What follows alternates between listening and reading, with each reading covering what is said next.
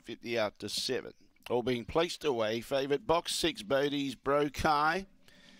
And we're just about set to go. Green light goes on. Let's see how the favourite jumps from the green box. Bodie's Brokai, set. Race 7, Gawler.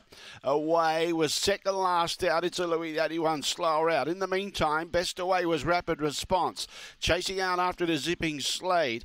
Bodie's Brokai can't get into the race at all. These two got clear. And third placing was Ask Me Now. Bodie's Brokai, then Motor City Fury. Behind those, Ikaruga Ball. at the tail was It's a Louis with Bottle Fury. Zipping Slade. They've landed the Plonket odds. Second rapid response or ask me now. Leave it to the judge. Motor City Fury was fourth.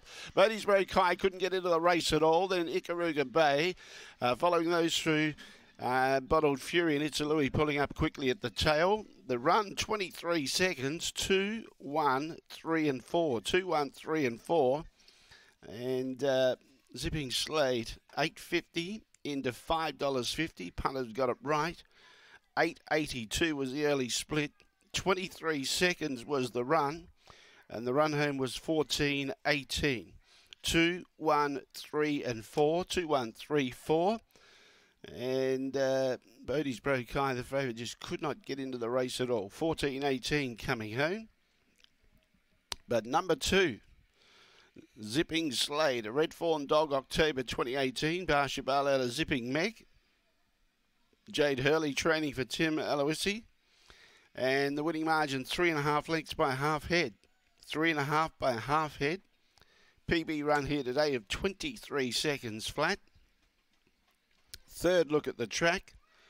And Zipping Slade has taken first prize here today and has had support in doing so. 5.90 and $2 on the tote. Rapid Response 150. Ask me now $3 for the place. Fourth number four, Motor City Fury. The Quinella 2 and 1 1380. The Exacta 2 and 1 1960. The Duets 2 and 1 750. 2 and 3 860. 1 and 3 $9.10. Trifecta for the inside boxes 213 $106.60. The first four for the inside boxes as well 2134 $495.90.